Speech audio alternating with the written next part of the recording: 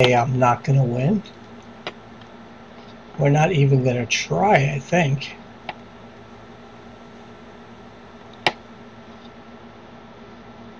Here, I'll just open up the scout report.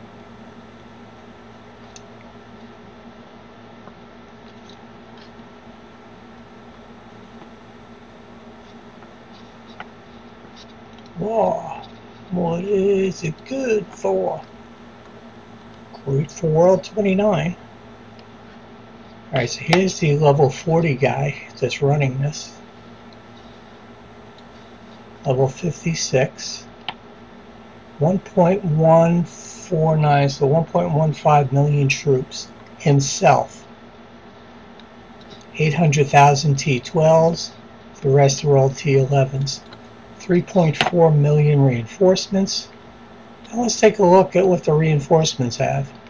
T11s, T11s, T11s, T11s. Oh look, there's 34,000 T10s. Woohoo! More T11s, more T11s. Oh my god, look at these battle stats.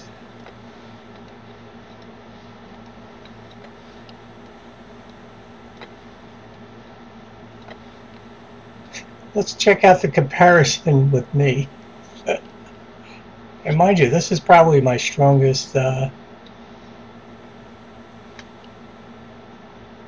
this is my strongest character on all my worlds. Well, 14 is probably a little stronger stats wise. But look at those numbers. Oh my god, look, I have a few stats that are even. I have no stats more than his, and everything grossly overpowering. This was a send some troops. I said actually 60,000 troops. Because um, I figure 40,000 might live. I don't think so, though. Here's my little estate. Dwarfed by a 37 and a 40. I only park there to prevent people from coming in, but our world is forked. Me go back to my spot near the gates.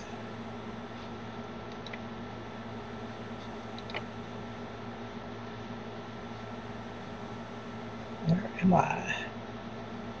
How did I get here? I can't park there, somebody else's spot. This alliance is not laid out well. I'll go there.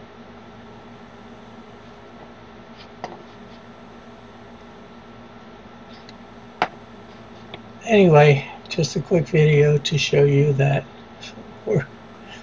we lose. It's not even a chance of dethroning them.